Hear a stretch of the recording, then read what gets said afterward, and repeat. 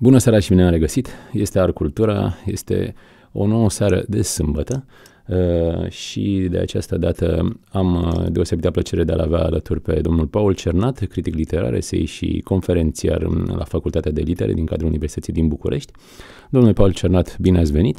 Bine v-am găsit, bună seara! Este o ediție Arcultura uh, mai specială pentru că o vom uh, dedica unei mari, mari personalități culturale, a secolului 20 și 21 vom uh, evoca figura lui Umberto Eco, romancier, eseist, semiotician și filozof care ne-a părăsit de curând, dacă nu mă înșel, undeva pe 19 februarie anul acesta.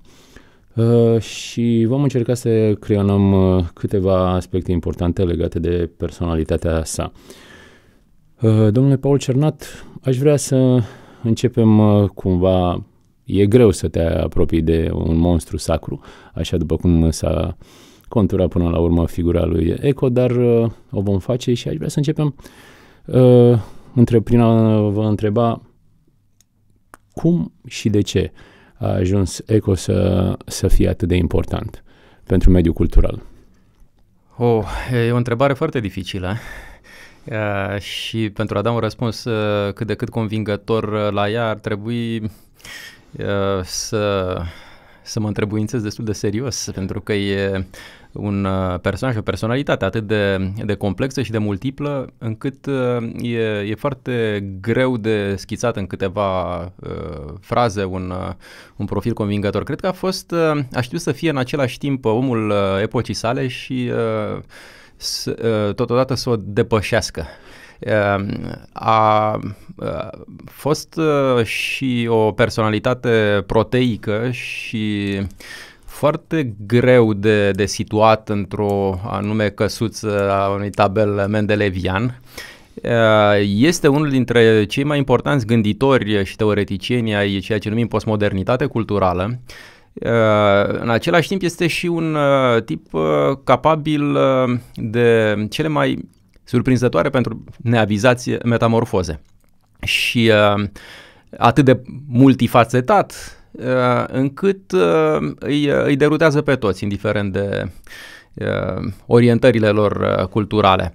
Uh, sigur, semiotician, uh, teoretician, gânditor, uh, filozof, teoretician al artei, scriitor, romancier de mare succes, de succes mondial, are, a redefinit practic romanul Uh, în uh, postmodernitatea uh, noastră culturală, alături de John Barth, alături de Michel Tournier, și el plecat de curând dintre noi, sau de Thomas Pynchon și, și încă alții. Uh, Umberto Eco este, ori de unde l-am privi, o, o personalitate stranie, derutantă și prin asta fascinantă, carismatică, uh, o personalitate capabilă să deschidă drumuri noi și în același timp să indice și limitele, uh, reformator și conservator în același timp, uh, avangardist și, în fine, să zicem, critic al exceselor avangarde, să ne gândim numai la opera deschisă la începuturile lui teoretice atât de, de avangardiste în fond, în, în teorie, și pe de altă parte, pe celălalt versant, la limitele interpretării, care pune niște bemoli acolo unde apăruseră niște excese ale, ale deschiderii inițiate anterior. Deci, Umberto Eco a fost o, o personalitate capabilă să vorbească și pe înțelesul publicului general cultivat, Uh, în același timp să fie convingător și la nivelul specialiștilor din întreaga lume. El a fost, uh, după cum se știe, doctor honoris causa la vreo 50 și ceva de universități de pe, de pe mapamond. Uh, literatura lui a avut un succes fenomenal, inclusiv în România a fost un fenomen. Umberto Eco a fost și ecranizat, numele Trandafir, ecranizare de, de mare succes, nu mai vorbesc de punerile în, în scene teatrale ale numelui Trandafir, dar nu numai acest roman și pentru lui Foucault, este un, un roman uh, de faimă uh, mondială și uh, Insula din ziua de ieri este o, o carte specială și, în general, cam tot ce a scris Cimitirul din Praga, Baudolino, Misterioasa flacăra reginei Loana mai, mai recent. Sunt cărți foarte diferite între ele, care spun foarte mult pe acest versant literar despre o personalitate proteică, o personalitate caleidoscopică. Uh, poate pentru că Eco a semănat atât de mult cu uh, lumea noastră și să o descrie atât de bine, atât de convingător uh, și în același timp aș știut să, să o și domine prin profunzimea culturii sale umaniste care vine de departe. El nu a fost robul epocii noastre, el a fost un om capabil să, o, uh, să stăpânească mecanismele, uh, să își domine obiectul asupra căruia s-a, s-a exercitat. Uh, a fost în același timp un insider și un outsider am putea să, să spunem. Înseamnă că a putut să-și construiască o poziție privilegiată. Cu siguranță. Cu siguranță și datorită acestei versatilități teoretice și, și creative, dar și datorită unei competențe fără cusur. E un uh, caz rarisim de hiperspecializare la, la vârf și de creativitate imaginativă. Uh, e în același timp un, uh, un specialist și un gânditor. Spuneți-mi, uh, Eco poate să fie un model? Poate să fie un model, aș zice mai degrabă un reper. Uh, model e greu. Uh, Trebuie să ai aceleași date ca să te încadrezi categoriei. Dacă... E foarte greu. Uh, Umberto Eco a fost un mare umanist, un mare reprezentant al tradiției umaniste în, în tot ce a avut ea mai bun uh, și în același timp un, uh, a fost un om capabil să pună acest background uh, umanist tradițional, cu rădăcini în uh, antichitatea greco-latină, iudeocreștină și așa mai departe, în slujba uh, epocii contemporane, pentru a înțelege mai bine, pentru a uh, o explica, a explica mecanismele. Uh, el a realizat o serie de punți, nu numai între uh, literatura de ficțiune, să zicem, și teoria first class, uh, ci și între cultura înaltă și cultura de masă cultura populară. A scris uh, niște seuri uh, splendide, celebre de altfel, despre film, despre benzile desenate, despre uh, pop culture, despre uh, toată această mitologie de care s-a ocupat și Roland Barthes uh, în anii debutului lui Umberto Eco, în uh, ale sale mitologii. Uh, alimentate de, de structuralismul epocii. Uh, deci uh, un, un tip fascinant tocmai prin acest amestec greu, greu de, de egalat între cult și popular, uh, între uh, hiperspecializare și hipercreativitate. E, cre- e greu de uh, luat ca model Eco, dar el este fără îndoială un mare reper. Și tare mă tem că epoca noastră, așa cum se prezintă ea acum, uh, nu prea mai poate să mai producă. Uh, în orice caz, uh, nu pe scara pe care erau produse acum câteva decenii personalități de genul lui Umberto Eco. Cel puțin asta este temerea mea, s-ar putea să mă înșel și m-aș bucura să mă înșel. Dar de ce nu s-ar mai putea naște un nou Eco, să spunem, nu acum, Doamne ferește, imediat sau chiar în momentul ăsta, deși totul este posibil, de ce nu? Ce ar, ce ar împiedica uh, apariția unei personalități de asemenea gen. Totul este posibil, din fericire, uh, dar uh, cred că acum trăim un moment de declin al uh, învățământului umanist, uh, chiar față de cum se prezenta el acum câteva decenii, acum 50 de ani, este un declin uh, constant și greu reversibil.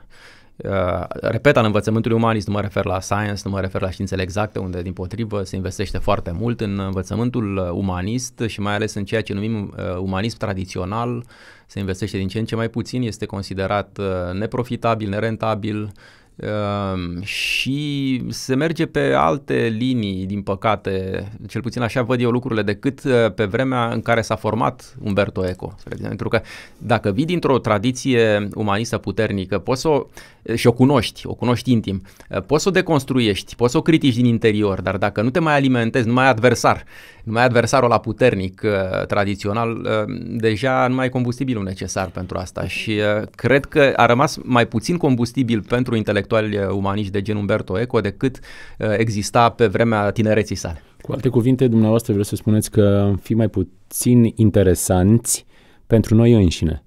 Nu ca obiect de studiu. Nu, nu, suntem la fel de interesanți. Dar nu din punctul ăsta de vedere, nu, cel nu al, al unor direcții de cercetare de tip umanist. Uh, da, în sensul ăsta aș zice, nu mai suntem uh, atât de interesanți pentru că nu mai suntem atât de profitabili, nu, atât de rentabili. Și bănuiesc că la capătul uh, drumului pare cel puțin că acest uh, câmp de cercetare n-ar oferi niște soluții practice. Ci ar deschide la infinit. Mie Da. așa mi se pare. Da. Și atunci lumea, lumea obosește din capul locului, numai când își pune problema asupra perspectivei. Da, pornim la Și drum deja asupra, obosiți. și asupra profitului. Aici sunt de acord cu dumneavoastră. Și până la urmă, d- dacă tot avem ca țintă infinitul, unde o să ajungem? Tot mergând către noi înșine. Că un capăt nu se prea întrezerește. Suntem surprinzători de fiecare dată când încercăm să ne sondăm. Aveți dreptate și de fapt de la o vreme încoace e așa un fel de, de oboseală, oboseală culturală, sentimentul că totul a fost deja spus. Eco însuși l-a avut. E, cu umorul care îl caracteriza, spunea, doamne, acum prin anii 80 sau chiar mai înainte, nu mai, nu mai poți să mai spui acum unei femei te iubesc în modul genuin, așa, e, spontan și te iubesc așa cum spunea cu tare scriitor. Adică punând ghilimele, eventual și note de subsol, pentru că totul e citat, totul, totul a mai fost formulat. Trebuie un aparat critic pentru această afirmație, nu? De unde vine, de ce o spui, cum o... Da, cred că am nu mai e depășit. suficient să spui doar te iubesc. Nu, totuși cred că acum am, am uitat de aparatul critic, cred că începem să, să uităm bibliografia pe care cei din generația lui Eco aveau prin anii 70-80, acum eh, redescoperim America la nesfârșit eh, eh, Și ne desco- bucurăm. și ne bucurăm de asta, da. Uh, Spuneți-mi, uh, aș vrea să vă întreb totuși uh, niște lucruri uh, legate de eco. El, uh, am observat că uh, ați folosit de multe ori acest, acest cuvânt epoci și un om care și-a depășit epoca. Uh, Dacă o să vă rog imediat să încercați să, să definiți această epocă a noastră la care faceți referință, dar aș vrea să vă întreb totuși, el n-a încercat să fie în același timp un om al tuturor epocilor, tocmai pentru a asigura acest uh, unitate a noastră cu Ba noi da. înșine. Ba da, e foarte, foarte potrivită observația pe care ați făcut-o. Într-adevăr, el nu numai că a încercat, cred că în bună măsură a și reușit să fie un om al tuturor epocilor, chiar dacă mai recent a stârnit tot felul de controverse prin considerațiile pe care le-a făcut despre Facebook, să zicem, foarte critice, foarte acide. S-a spus, domne, am îmbătrânit, nu mai înțelege. Nu lumea." mai înțelege, Da, da. e old fashion. Uh, nu știu, nu știu, la, la, atunci când uh, auzi asemenea lucruri de la o personalitate care știe atât de multe ca Umberto Eco, trebuie să spui niște întrebări. Mă, Nu cumva greșim noi? Nu cumva n- n-am înțeles noi ce a vrut să spună? Nu știu, poate a greșit, poate, dar poate n-am fost noi atenți la, la mesajul lui. Pentru că, să fim serioși, Eco a definit epoca internetului înainte ca internetul să existe. Uh, să zicem, re- uh, lumea asta ca rețea, ca rețea infinită de, de comunicare, uh, rețeaua care vine de fapt de departe, dintr-o tradiție ezoterică, străveche sau din mai multe. Uh, Nu avea taine pentru el, prea multe taine. De ce ar fi avut uh, lumea uh, tehnologiei înalt, despre care a și scris de altfel, în anii 60-70 a scris foarte mult.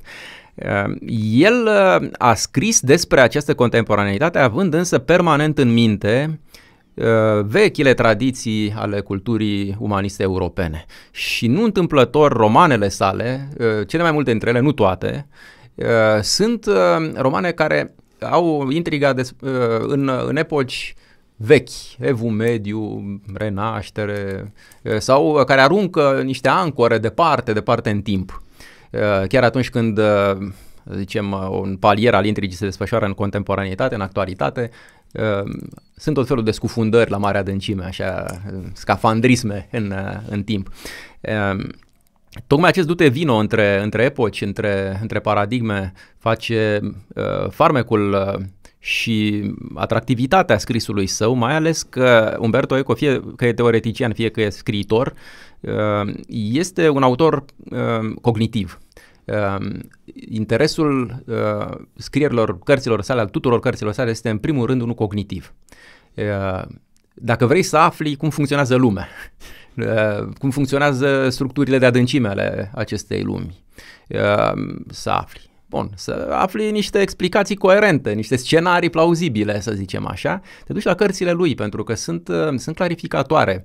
Și uh, nu, nu numai atât, mai este și uh, umorul foarte fin al, uh, al omului care a văzut multe, care știe să relativizeze, știe să schimbe mereu perspectivele uh, și să se deruteze într-un mod cât se poate de, de profitabil, repet, uh, orice cititor, orice tip de cititor. Sunt, uh, ECO are o ofertă de, de participare multiplă. Uh, scrierile sale se adresează mai multor tipuri de cititori simultan. Fiecare ia din uh, ECO ce convine sau lucruri la care are acces.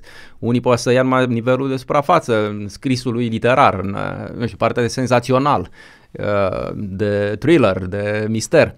Alții pot să meargă mai departe, la erudiție, la alte lucruri de, de felul ăsta. El reușește să fie atractiv simultan pentru toate aceste categorii de public, ceea ce este foarte rar. Este foarte rar. Greu de realizat. Spuneți-mi, ar putea fi Eco un fel de Leonardo al științelor umaniste? O, cred că e totuși mult spus, dar este un grăunte de adevăr aici nu este un inventator uh, atât de vizionar, nu, nu se pune problema, nu a fost nici artist plastic, deși s-a ocupat de artă, a scris uh, lucruri uh, foarte pătrunzătoare despre, despre istoria artei, despre istoria frumuseții, despre multe, multe alte lucruri, dar este un continuator al acestei tradiții a umanismului italian, a umanismului renascentist italian. El este un renascentist postmodern, da, asta se poate spune despre Umberto Eco și cred că din punctul ăsta de vedere, paralela, comparația cu, cu Leonardo este cât se poate de, de avenită. Uh, aș vrea să vă mai întreb un lucru despre, despre Eco. Uh, la un moment dat, cel puțin uh, așa, în percepția omului normal, Eco părea să fie așa un fel de turn cultural, un fel de reper, așa după cum spuneați dumneavoastră, dar aș vrea să vă întreb dacă nu cumva el putea să fie, sau fără să-și dorească și a asumat și un, un rol ceva mai special, uh, un fel de reflex de autoapărare a hmm. culturii occidentale. S-a discutat mult și despre asta în, uh, în ultimele decenii, cel puțin. Uh, da, este. Uh, de altfel, Eco vine, cum, cum spuneam, de departe și este foarte semnificativ faptul că e italian. Italia este moștenitoarea Imperiului Roman, pe care stă, de fapt, întreaga civilizație occidentală. Ehm, civilizația occidentală are o rădăcină definitorie în greco-latinitate clasică și în universalitatea pe care această civilizație a elaborat-o. Eco este un universalist. Eh, este un enciclopedist, este un uh, universalist, el este un reprezentant, în mod clar, al acestei tradiții occidentale, din care însă, trebuie spus, fac parte și uh, tradiții ale Orientului, care s-au vărsat așa ca niște afluenți uh, în, în cultura occidentală și au fertilizat-o. Ce ar fi fost Occidentul fără toate aceste contribuții ale Orientului din Renaștere, de după aceea, din perioada romantică, din secolul 20. Este un melting pot cultural Sigur, uh, Eco este un, uh, un autor uh, al matricei culturale occidentale și un apărător al, al ei, fără doar și poate, dar nu este un exclusivist. Nu mi s-a părut că este un occidentalist exclusivist și un occidentalist deschis în cel mai, cea mai bună tradiție a deschiderii occident, Occidentului. Iar faptul că unii au văzut în el un conservator mai recent, după ce văzuseră un uh, avangardist, un uh, deschizător de drumuri la, la începuturile lui, uh, ține de aceeași mobilitate a, a spiritului acestui savant, acestui mare savant, care niciodată nu s-a simțit bine să fie fixat, să fie fixat într-un loc anume. Și uh, a tins să acopere în permanență întregul spațiu de joc, întregul teren de, de joc. Atunci când i s-a părut că lucrurile se înclină prea mult într-o direcție și amenință să o ia razna, s-a așezat în, în partea cealaltă și a trasat limitele. Adică Asta înseamnă că era un om foarte conștient de momentul prezent și încerca să fie și un jucător în, în tot acest angrenaj informațional. Și Clar. chiar, uh, cred că își propunea chiar mai mult de atât, să influențeze sau să vorbeați de faptul că încerca să acopere un câmp întreg. Uh, ca să poți să ai o asemenea, un asemenea tip de mobilitate, trebuie să ai și arsenalul și posibilitatea de a avea reacție în timp real și util mai ales uh, vis-a-vis de toată, toată această mișcare uh, care la prima vedere putea putea să pară conti- uh, haotică uh, a informației. El a încercat totuși, așa după cum spuneați, să, să cristalizeze uh, și să genereze niște drumuri către înțelegere. Uh, din cauza asta vă întrebam dacă până la urmă acest tot efort, acest tot demers multifacetat al lui al lui uh, Eco nu a fost un reflex de autoapărare al uh, culturii occidentale, pentru că la un moment dat uh, informația asta devine copleșitoare, aproape nu mai poți stăpâni. Și atunci uh, el încerca să restructureze, uh, cel puțin așa mi se pare mie, toată, toată, toată această aluviune informațională care la un moment dat tinde să te acopere. Fără îndoială, despre, despre asta se poate vorbi foarte, foarte mult și ați atins o problemă extrem de importantă a gândirii lui Eco din ultimele decenii cel puțin. Uh, el a încercat, sigur, să pună ordine, ordine minimală în acest haos informațional reticular. Uh, într-o anumită măsură, cred că a și reușit. Dar el uh, și-a propus într-adevăr să, să studieze o serie de modele mentale și să Uh, ajungă la ceea ce compatriotul nostru care l-a cunoscut bine, Ioan Petru Culianu, numea jocuri ale minții, mind games. De fapt, nu numai el.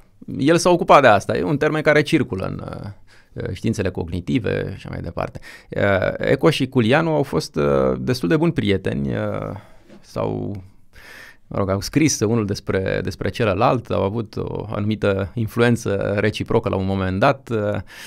Uh, și cred că eco este, da, este definibil din uh, această perspectivă de care, de care spuneți, uh, mai ales pentru ultima parte a activității sale. Um, el a încercat imposibilul să apere, da, o tradiție umanistă, aș zice eu.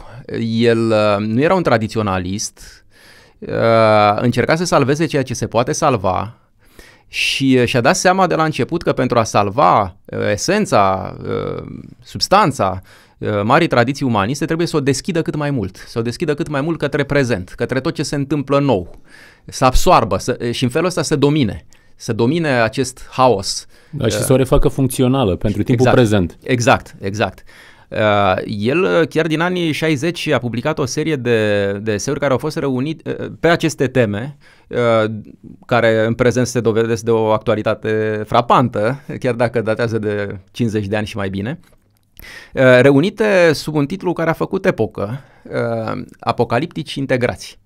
Da. cu referire la uh, intelectualii, la, la, la poziția intelectualelor, elitelor intelectuale față de uh, cultura de masă, față de cultura de consum. Pe de o parte, conservatorii de diferite orientări, de stânga sau de dreapta, uh, mă rog, uh, ideologic n-are importanță, care se temeau de uh, nivelarea, de masificarea pe care cultura populară, nouă, comercialismul pop, să zicem, ar fi putut să, să-l aducă și l-a și adus.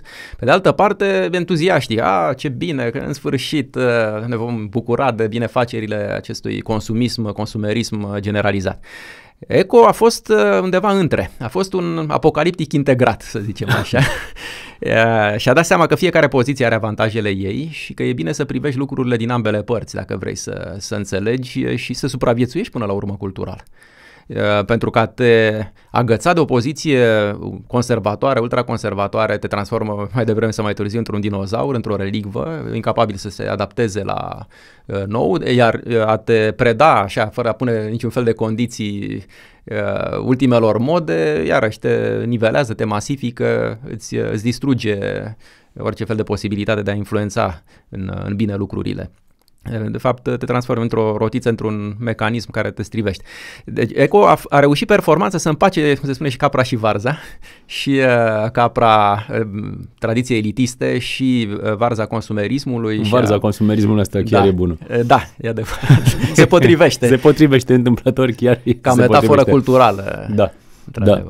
Uh, spuneți-mi, uh, Aș vrea să vă întreb vis-a-vis de, de tot ceea ce a spus până acum. Se pare că portretul lui, uh, uh, ușor, ușor, pe care încercăm să înscrisăm aici, ar, uh, ar uh, imagina uh, un om al echilibrelor sau un om uh, preocupat de a reface un echilibru cumva pe care îl simte fragil sau pierdut sau pe marginea unei amenințări posibile. Uh, nu știu dacă amenințarea respectivă era pierderea unei identități culturale sau pierderea unui interes vis-a-vis de o anumită identitate deja creionată și care pare că uh, ar trebui să fie cumva în noi înșine de la sine acest tip de europenitate care uh, iată, devine tot mai greu de definit, cum se întâmplă și astăzi.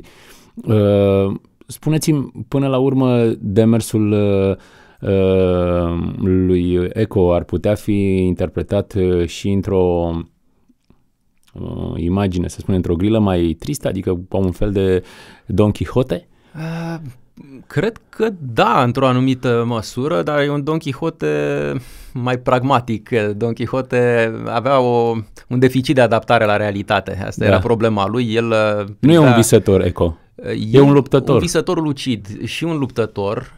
Uh, cred că identitatea, pierderea aceea identității de care spuneți, ar putea traduce printr-o teamă de uh, pierderea memoriei culturale. De fapt, ideea asta spaima pierderii memoriei. În, într-unul dintre ultimele sale romane, Misterioasa flacăra reginei Loana, apare chiar această problemă a pierderii memoriei. Personajul, protagonistul își pierde complet memoria și își reconstruiește din tot felul de lucruri identitatea de la zero. Cred că ar trebui să insistăm puțin asupra acestui lucru, dar nu credeți că cel puțin așa pare, că lumea și-ar dori, într-o oarecare măsură, o pierdere a memoriei. Pare că moștenirea e mult prea grea de dus. E prea mult de, de asimilat înainte de a te putea bucura de, de rezultatele uh, acestei, uh, să spunem, acestui efort. Așa este. Sunt Vedeți? tot felul de ciudățenii care îți vin în cap gândindu-te la efortul uh, lui Eco. Da.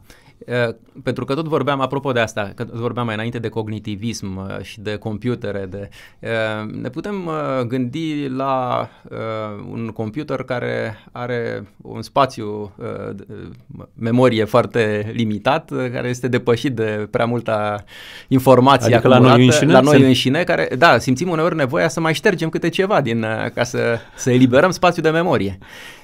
Este o supraîncărcare a memoriei culturale, într-adevăr, și cred că asta se întâmplă în zona culturii occidentale.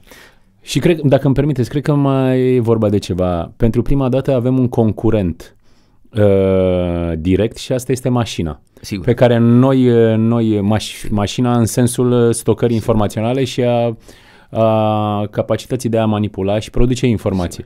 Gândiți-vă la computerul din uh, pendulul lui Foucault, marele computer. Uh, care e tema uh, sau una dintre, dintre temele majore ale acestui roman de mare succes. Tocmai asta. E, sigur, Eco a știut de multă vreme uh, încotro se îndreaptă lumea. Era un uh, foarte fin analist al tehnologiei și al impactului tehnologiei asupra culturii. Asupra culturii de masă, asupra culturii înalte. Un, un critic avizat al uh, impactului tehnologiei de care, de care vorbeam și în același timp un om cu mult prea mult umor și mult prea multă deschidere mentală pentru a nu uh, încuraja uh, deschiderile, avantajele pe care, pe care tehnologia le aduce. Vezi că tot, uh, în, în tot binele e și un rău și în tot rău e și un bine. Uh, ceea ce cei vechi știau asta. Un medicament, farmaconul, se poate transforma oricând în o travă, dacă greșim dozajul. Important este să nu greșim dozajul, să îl folosim uh, în, uh, mă rog, uh, procentul uh, cel mai, uh, cel mai potrivit. potrivit, cel mai potrivit. Or Eco a reușit ceea ce foarte puțini, nici nu știu câți am putea să-i numărăm pe degetele a două mâini, în, au reușit în, în contemporaneitatea noastră, mă refer la nivelul culturii umaniste. Să fie un enciclopedist un intelectual enciclopedic și în același timp un uh, intelectual hiperspecializat.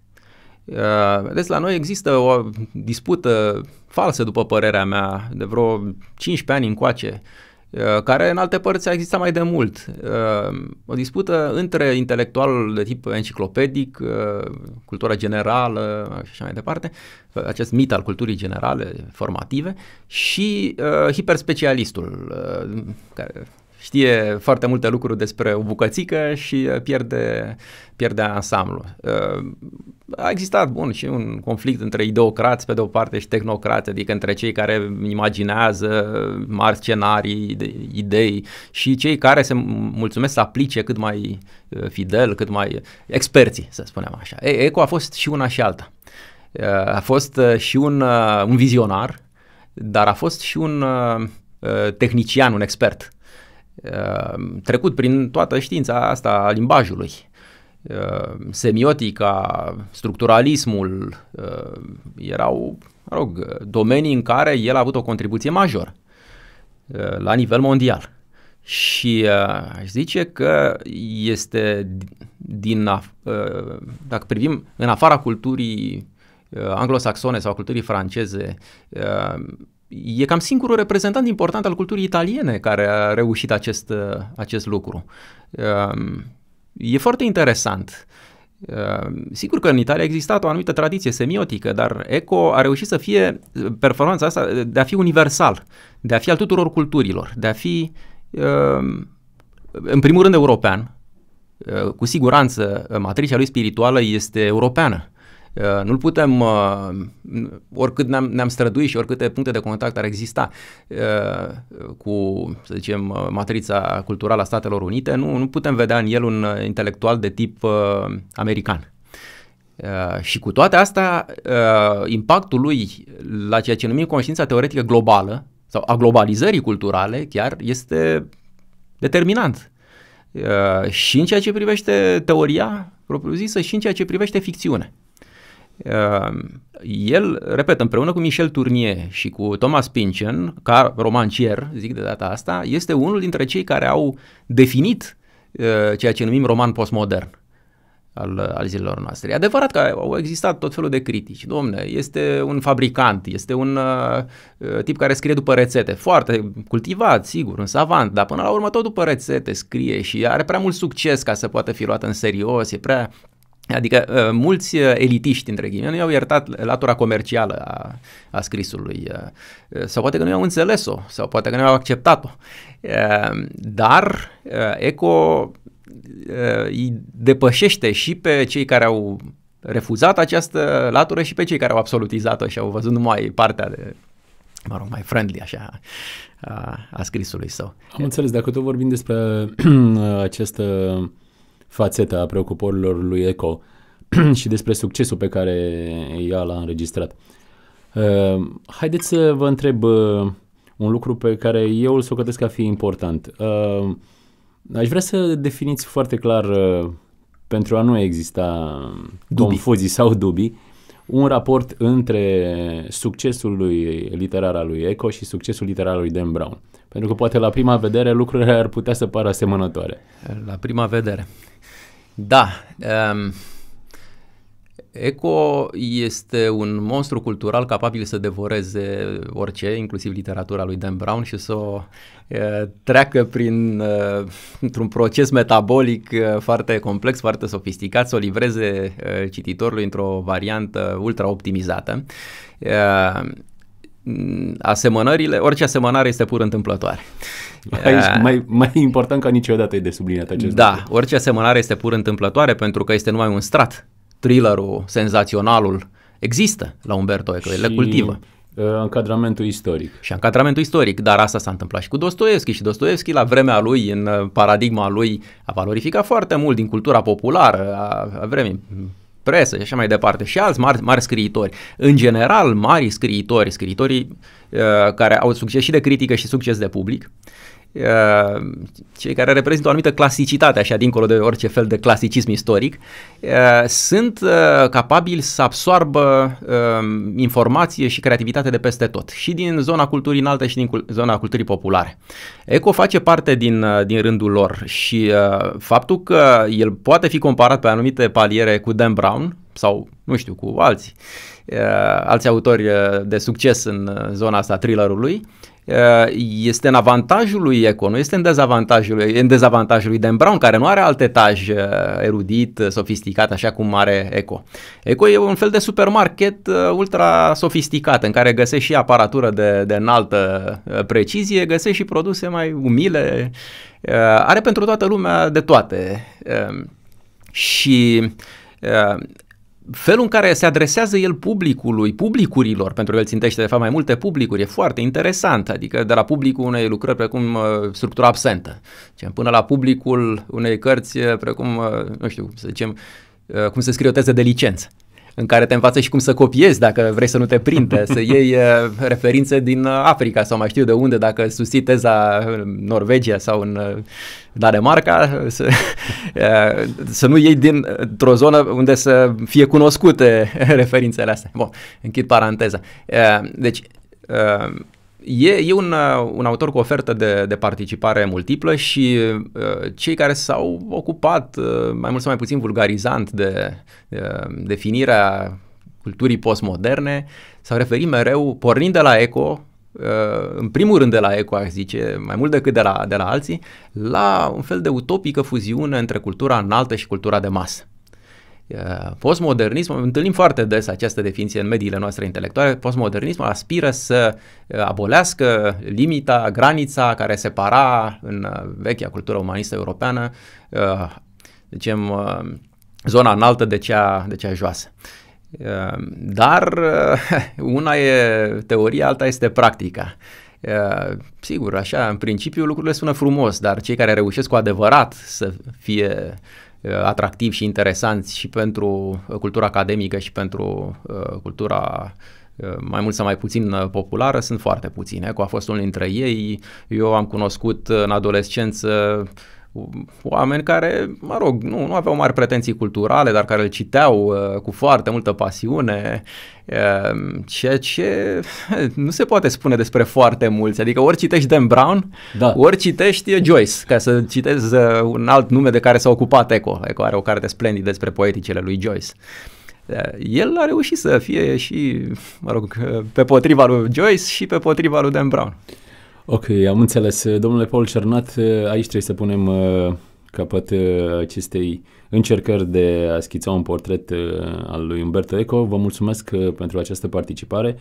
Sper că cei care, se, care ne-au ascultat să fi fost în număr cât mai mare și să le fi trezit interesul pentru o lectură a acestui savant, romancier, eseist și filozof Uh, care, repet, ne-a părăsit de curând pe 19 februarie 2016. Încă o dată vă mulțumesc tuturor celor care ați avut răbdarea să ne ascultați, vă mulțumesc și vă rămâneți pe RFI.